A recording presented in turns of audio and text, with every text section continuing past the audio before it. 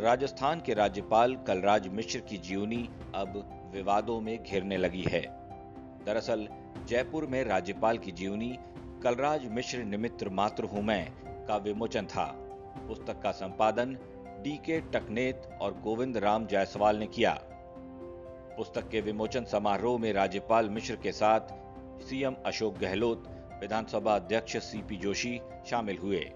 इस समारोह में राज्य के 27 सरकारी विश्वविद्यालयों के कुलपतियों ने भी हिस्सा लिया। कार्यक्रम के बाद कुलपतियों की गाड़ियों में ड्राइवर के ज़रिए बायोग्राफी की 20-20 प्रतियाँ रखवा दी गईं, जिसमें एक कॉम्प्लीमेंट्री और 19 पुस्तकों का बिल ड्राइवरों को ही दे दिया गया।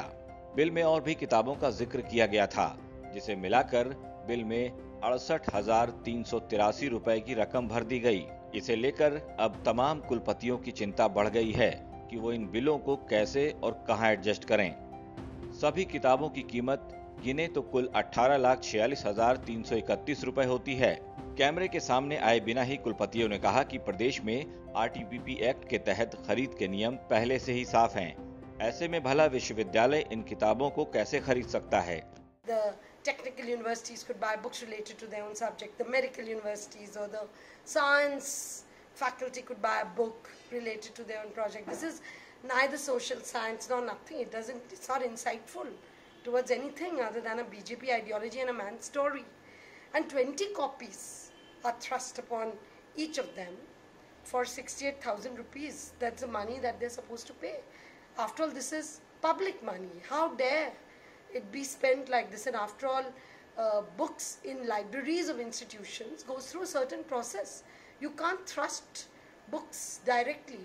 राज्यपाल भवन में राजस्थान के मुख्यमंत्री अशोक गहलोत के अलावा राजस्थान विधानसभा के अध्यक्ष सीपी जोशी और लोकसभा अध्यक्ष ओम बिरला 27 विश्वविद्यालयों के कुलपतियों को उनके 80वें जन्मदिवस के मौके पर पुस्तक के विमोचन के लिए आमंत्रित किया गया था समारोह के बाद कुलपतियों और राजस्थान के राज्यपाल कलराज मिश्र के बीच बैठक चल रही थी और इसी दौरान मौका पाकर कुलपतियों की गाड़ी में ये किताबें रखवा दी गईं। कांग्रेस ने पूरे मामले में गवर्नर हाउस की ओर से अनियमितता का आरोप लगाया है। इस प्रकार के कामों से राजभवनों की गरिमा गिरती है। अगर राज्यपाल के पास इसकी जानकारी है तो तुरंत इस पर रोक लगाए। और अगर उनको जानकारी नहीं है तो इसके ऊपर इस घटना की जानकारी को लेकर ऐसे भविष्य में काम नहीं होने चाहिए। इन बातों को लेकर राज्यपाल जो स्वयं इसमें आगे बढ़ के उनको इस बात, इस प्रकार की चीज़ों के ऊपर रोक लगानी चाहिए।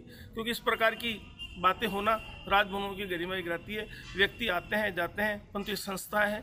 इन संस्थाओं की गरिमा बनाए रखना, उन संस्थाओं में बैठने वाले अधिकारियों और उस समय के तत्कालीन व्यक्तियों के ऊपर निर्भर करता है कि इनकी गरिमाओं को कैसे हम आगे बढ़ाए रख सके। कांग्रेस के नेताओं का कहना है कि गवर्नर हाउस के संबंध में इस तरह की जानकारी आना बेहद दुर्भाग्यपूर्ण है, क्योंकि जहाँ भी बीजेपी की विचारधारा वाले लोग गवर्नर हाउस में दाखिल हुए हैं, वहाँ इस तरह की चीज़ें देखने को मिल रही हैं। चाहे वो पश्चिम बंगाल का राजभवन हो, चाहे वो राजभवन गोवा का हो, या फिर राजस्थान का। इस तरह की चीज़ें गवर्नर हाउस के सम्मान को कम करती हैं। वहीं मामला मीडिया की सुर्खियाँ बना तो अब गवर्नर हाउस ने भी इस मामले से अपनी दूरी बना ली है। ब्यूरो रिपोर्ट, राजस्थान तक।